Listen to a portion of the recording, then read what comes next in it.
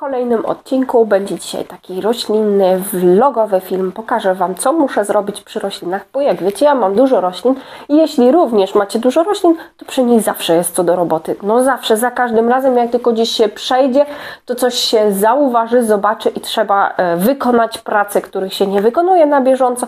No i oczywiście takich prac nie zawsze wykonuję na bieżąco, no bo wiecie, jak to jest, e, życie zabiera nam dużo, e, wiecie, praca i takie domowe obowiązki, no i nie zawsze zawsze się ma czas, a mimo wszystko rośliny w miarę rosną, więc też nie ma na co narzekać.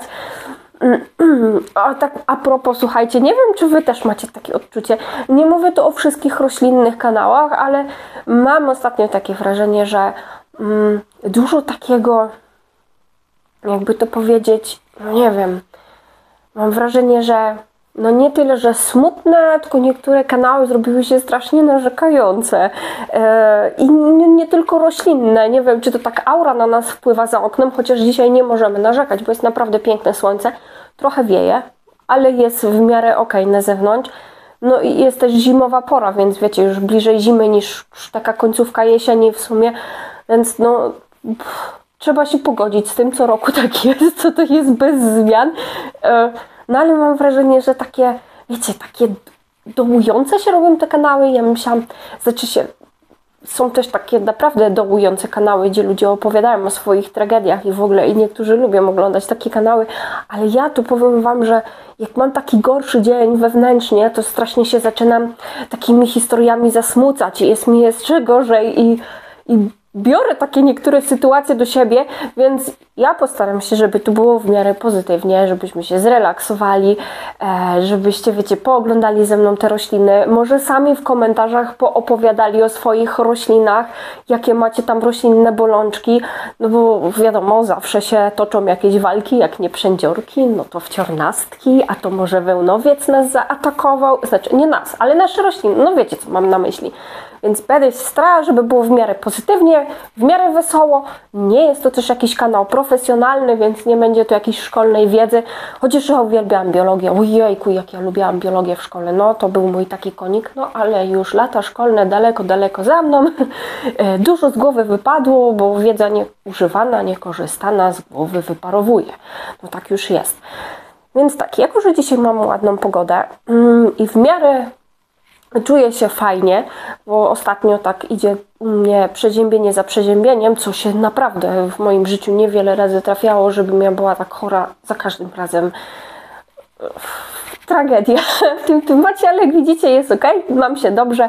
Mam nadzieję, że Wy również jesteście zdrowi i fajnie się czujecie i mimo tej pogody takiej czasem depresyjnej macie ciepły koc, macie kawę, herbatę, E, nie wiem, książkę, telewizję czy coś, co Was e, pociesza i wprawia mimo wszystko w dobry nastrój. Poza tym to już jest końcówka gru e, grudnia, listopada i chciałam właśnie powiedzieć, że zbliża się grudzień, więc niedługo i święta przed nami. Ja sobie tu tak stanęłam. W ogóle z tyłu za mną jest e, witrynka. Ona jeszcze nie jest dokończona, więc ten na film na pewno się pojawi. Pokażę Wam mm, tą folię, którą miałam na myśli. Już nawet zdążyłam ją zakupić, ale jako tako nie złożyło się, żebym to dokończyła. Więc myślę, że i może tym razem się uda. Może nie dziś, nie w dzisiejszym filmie, bo jak ja się rozgadam, to ten film może być e, dosyć długi. Ale mam nadzieję, że mimo wszystko i tak Wam się spodoba. Więc Dajcie znać, co tam u Was, czy przygotowujecie się jako tako już do grudnia, czy już w głowie Wam pomału święta witają. Myślę, że e, grudniowe filmy będą takie trochę mniej, będą roślinne, na pewno również pojawią się roślinne filmy, ale nie wiem, czy od czasu do czasu nie wpadnie, wiecie, jakiś taki z dekoracjami, no jakieś takie, wiecie, może Was zabiorę na jakiś Weihnachtsmarkt, jak się sama wybiorę. Weihnachtsmarkt, czyli jarmark świąteczny taki niemiecki. Bywa czasem fajnie, nie wiem, bo tak jakoś nie miałam jeszcze okazji, tyle lat już tu mieszkam. Przechodziliśmy wiele razy, ale jakoś Wam powiem, no nie, byłam parę razy, ale nie tak y, y, głęboko w tym powiedzmy. Tam sobie popatrzyłam trochę i zimno było, to uciekliśmy do domu. W tym sensie ja i tak, wiecie, bardziej preferuję spacery z psami niż takie jarmarki świąteczne. Nie wiem czemu. No dobra, ale przejdźmy już do tego, co mnie dziś czeka, co dziś nas czeka. Jest parę rzeczy, które mnie fajnie zaskoczyły. W ogóle obiecałam znajomej, że przytnę jej dubie. Do tego też przejdziemy, bo dubia mnie bardzo miło zaskoczyła. Ja kiedyś wspominałam Wam, że ona idzie na dwa wstożki, no to to się dużo zmieniło, bo chyba idzie na trzy. E, tak, no, ale jesteśmy tu w tym miejscu, bo chciałam Wam pokazać parę roślin. No, nie, z niektórymi muszę się pożegnać i może chwycę za telefon i już Wam powiem o co chodzi. Przy okazji sobie wezmę e, moje książki. W ogóle też chciałam powiedzieć, że dzisiaj jest dzień podlewania. Przez to, że ja ostatnio nie byłam zbyt mocno w obiegu, no to podlewanie się mocno. Powiem Wam, że jestem jakieś dobre 3 dni spóźniona z podlewaniem. Jakoś tak ostatnio miałam kiepskie, gorsze trochę dni. E, no ale tak, ja teraz przechodzę na tryb zimowy. W trybie zimowym e, rzadziej stosuję nawóz, taki, wiecie, ten typowo taki chemiczny. E, teraz przechodzę sobie na biohumusa,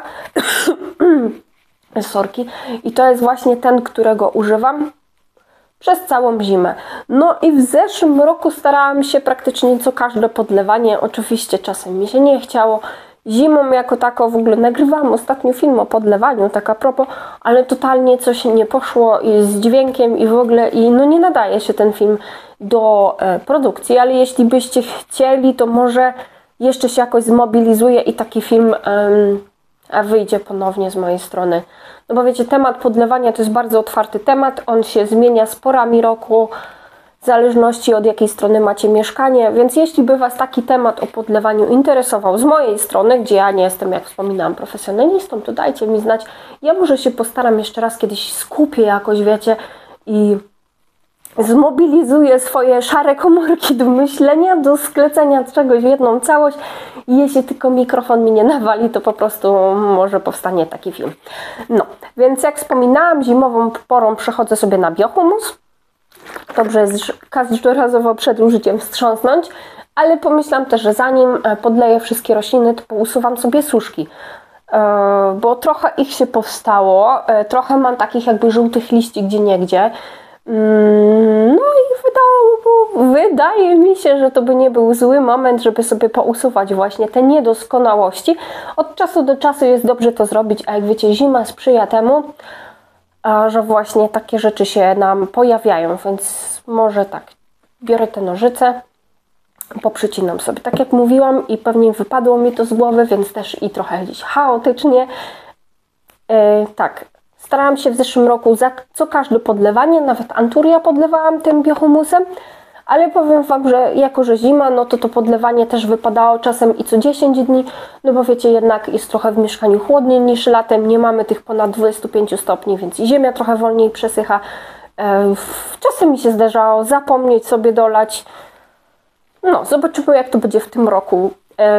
Ja jestem otwarta na moje nowe propozycje co do podlewania.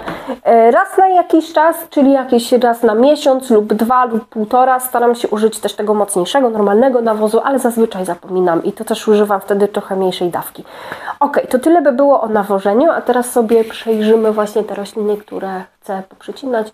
Pousuwamy sobie trochę liści, a czemu by nie, zaszalejmy. Więc nożycze są, nożycze, nożyce są, e, to są w ogóle, to nie są nożyce, to są jakieś strążki, ale spoko są do roślin. O, i wiecie co, nie potrafię jedną ręką tego otworzyć? Dobra, mam.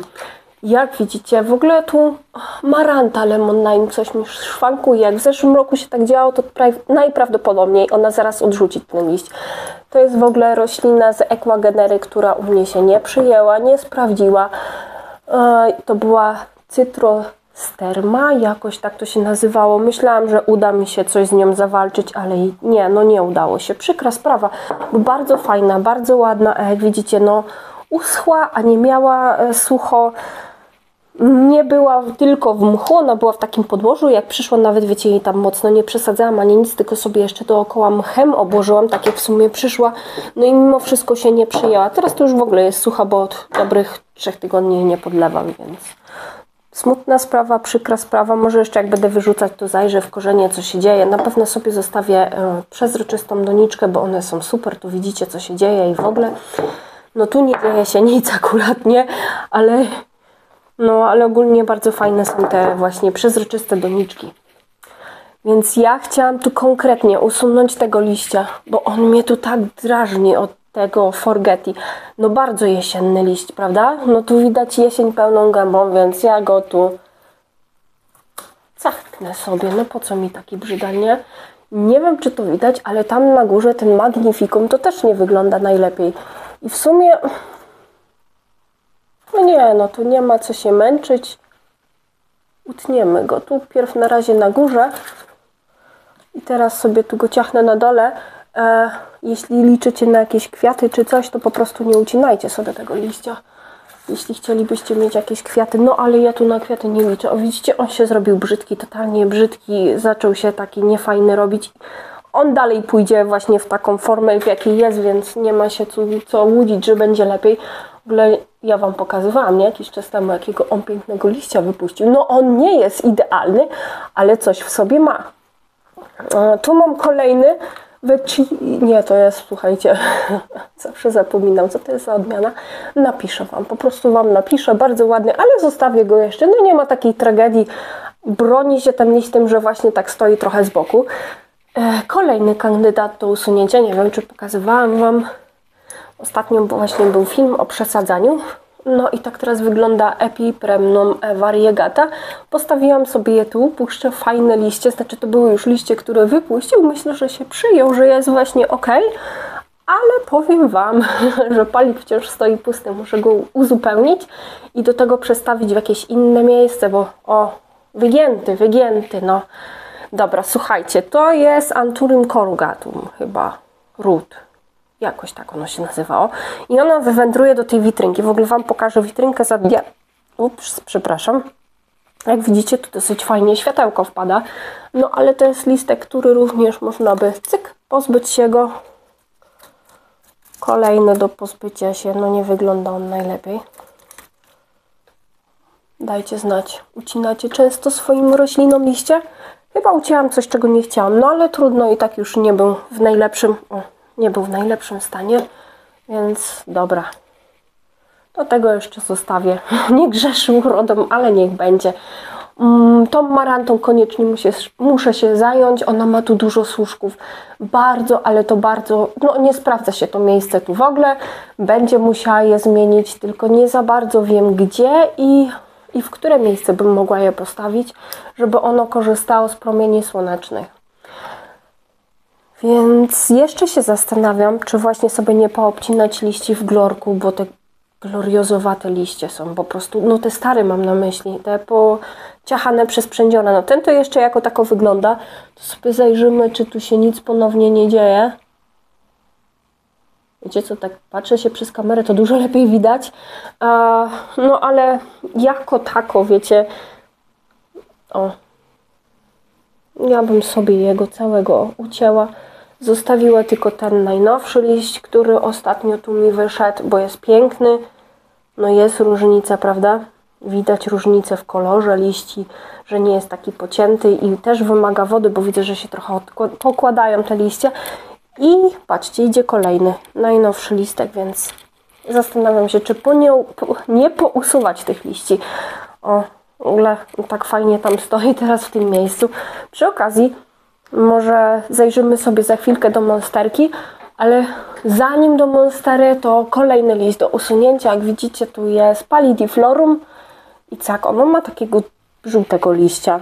Bardzo stary liść, ono póki co chyba nie odrzuciło ich zbyt, przepraszam, zbyt wielu tych liści, więc myślę, że możemy spokojnie się takiego staruszka, oj, zaczepiłam się, pozbyć. Nie jest on nam potrzebny. Ale tutaj mam um, dupie przygotowaną do dalszej części filmu.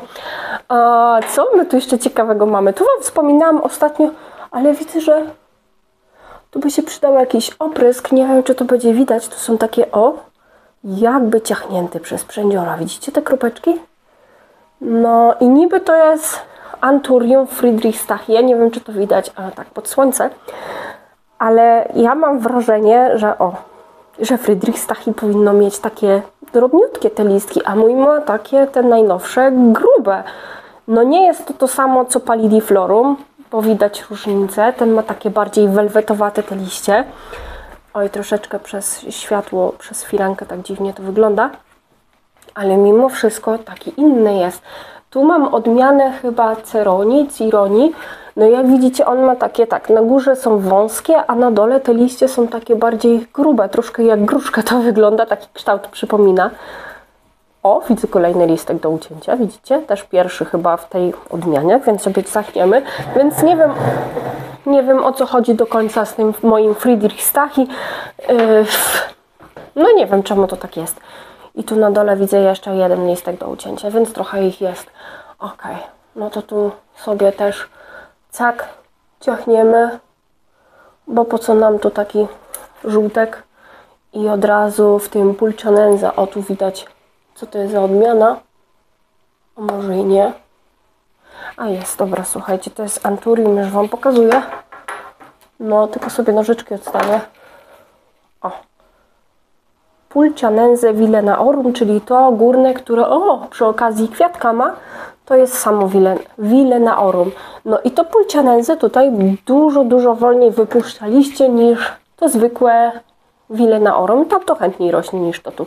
No ale ten liść, jak widzicie, już jest po prostu tragiczny, więc też idzie w odstawkę. Ma takie śmieszne. Oj! O, trójkątne łodyżki, nie wiem czy to widać.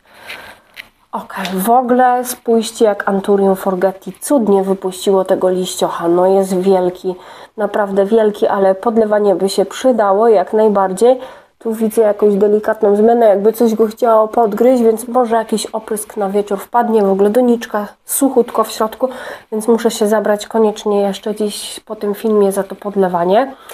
Tutaj mamy Philodendrona Warsewici bodajże i to jest taka mini wersja. Widzę, że od jakiegoś listka mi ususzył. O, ale on ładnie sam odszedł. Mm. Przestawiłam go w to miejsce, bo miałam wrażenie, że jak mi stał w tym bardzo jasno słonecznym miejscu, to strasznie, ale to strasznie mi się wysuszał. Yy, tak śmiesznie wybielał, nie wiem czy to widać. Dobra, tutaj sobie przy okazji poodrywamy z epipremnum. Ono ostatnio mi spadło, ja to w jakimś filmie wspominałam i ono do teraz trochę tak gubi więcej niż normalnie tych liści. W zeszłym roku prawie żadnych nie gubiło, a tu widzicie się dzieje, dzieje teraz. No to są pewnie te liście, które mi się pouszkadzały, no ale to też trzeba usunąć, bo nie dość, że nieatrakcyjnie wygląda, to już jest na tyle suche, że można sobie spokojnie to pousuwać. I jest takie odwodnione. Nie wiem, czy to, czy zauważacie to, że ono jest takie klapnięte. I to jest też właśnie taki dobry sygnał, żeby je... O, ten listek też nie jest za ciekawy, tu ma jakieś przebarwienia. To jest dla mnie sygnał, że ta roślina woła o wodę. No oczywiście, trochę ją zaniedbałam. Dobra. Tu mamy enjoyka. Widzę, że enjoyek również jakieś liściochy liściochy tu, o, patrzcie co się dzieje. Widzicie, mówicie, że mi tak fajnie rosną. No, enjoy jest mocno suchy. Z tego co tu widzę, to enjoy jest mocno, mocno, ale tu suchy. Dobra, tu jest jeszcze jeden taki, który można by usunąć. Tu na pewno będzie ich więcej do usunięcia za jakiś czas. Ok, pokaż się. No tu góra wygląda spoko. Chyba nic więcej takiego nie ma. Ta półka tu z tyłu, ona się trzyma nieźle. Tu raczej nic nie odpada, ewentualnie czym by trzeba było się zająć tą monsterką, ale to już nie na ten moment, bo żebym tam doszła, to ja potrzebuję dwie ręce jednak. Parapetowe mają się nieźle. Tu jest wszystko ok, a przy okazji pokażę Wam hiciora. Słuchajcie, to jest hit. Pamiętacie? Przy przesadzeniu Monsterem Mint i mówiłam, że nie ma wariegacji. No to spójrzcie, tu są takie o, w tym miejscu ze 4-5 nawet kropek jest jakaś wariegacja, ale liść jest satysfakcjonująco wielki, no ogromny jest ten liścio. No mam nadzieję, że po tym przesadzaniu będzie jeszcze lepiej może coś za jakiś czas znowu wypuści z fajną wariegacją. Dobra, to pokażę Wam jeszcze te rośliny, a potem sobie przejdziemy do dubi, bo film będzie naprawdę super długi, a chciałabym jeszcze tą dubię zrobić dzisiaj, koniecznie. Dobra, Monstera Pytaliście się, czasem w komentarzach się pytacie, czy mam jakieś e, zmiany, czy pojawiają się u mnie jakieś zmiany w związku z tym, że jest zima. No to nie, zazwyczaj nie, ale spójrzcie, teraz, no myślę, że to jest właśnie skutek mojego przesadzania. O, takie jakby delikatne zagniecienia. Zobaczymy, czy to będzie się dalej posuwać, czy nie. Mm, ten liść na przykład jest totalnie zdrowiusi, tu się nic nie wydarzyło ale był jeszcze, o, na przykład tutaj taka delikatna. Więc ogólnie przez te dwa lata, jak ją mam, od zeszłego roku ona stoi w tym miejscu, nic się takiego złego nie podziało. Rozwinęła mi już piękne dwa nowe liście i spójrzcie, ten nawet ma jakąś taką śmieszną wewnętrzną fenestrację. Wygląda cudownie, chociaż ten liść nie jest wielki. To jest pierwszy liść, o tu jak widzicie z nowego stożka wzrostu po przycięciu. Mm, jeszcze nie do końca rozwinięty, ale ma wewnętrzną fenestrację. Mimo wszystko wypuścił. Ja na początku myślałam, wiecie, że tutaj e, będzie jakby taki pasek i będzie kolejna no ale nie, bo tu ma i tu ma, więc no to jest taka wewnętrzna fenestracja. No cudownie wygląda. Niesamowicie. Nie wiem, czy to dobrze... O, teraz... Nie no, teraz to jest mocno prześwietlone. A może sobie tak spróbujmy. O. No bo jak firanka jest, to tak dziwnie trochę wygląda, no ale jest ok. Tu jest kolejny listek i najnowsza sadzoneczka jest tu z tyłu. No i póki co jeszcze nie wypuszczę żadnego nowego liścia. No, ale wydaje mi się, że mimo wszystko jest dosyć mocno zadowolona. Więc ok, siadamy ponownie i pokazuję już Wam dubie. Wiecie, tak staram się... Może se okno zasłonię trochę. O, coś tu dało? No nie, no dalej, słuchajcie, no takie słońce dzisiaj, takie słońce. Widzicie, ja tu mam deskę w ogóle, no, no jest trochę tych suszków, jest, nazbierało się, nawet jakiś trupek, a z niego się totalnie sypie. No co zrobić? Niby fajna roślina, tak mi się podobała, jednak nie poszło. No czasem tak bywa, zdarza się. Jak widzicie jest sporo, e, więc nie przyjmujcie się tym tak mocno. E, nie tylko Wam opadają suche liście, czy wiecie, no to są jesienne straty, no to są liście, które